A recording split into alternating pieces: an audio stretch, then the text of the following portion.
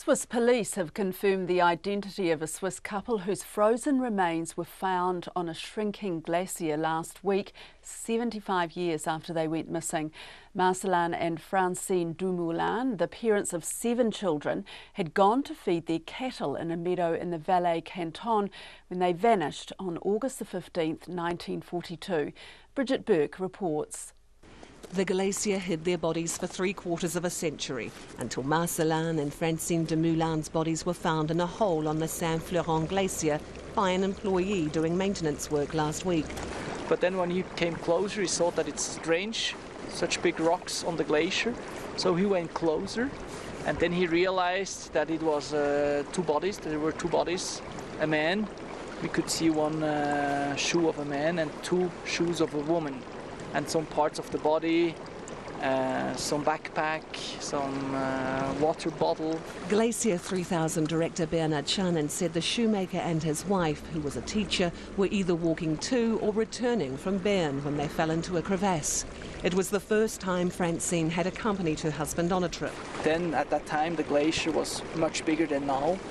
And uh, to imagine in winter time we have five, six meters of fresh snow on the glacier. So the last years the glacier shr shrunk a bit. This is now why 75 years later two bodies came out of, of, on the glacier and it took so much time because they were very deep in the glacier inside. Back home in 1942 the couple's five sons and two daughters were waiting for them. One son spent most of his life combing the glacier for his parents.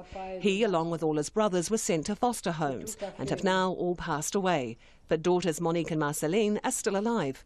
86 year old Monique, who was 11 at the time and the eldest child, recalls the last time she saw her parents.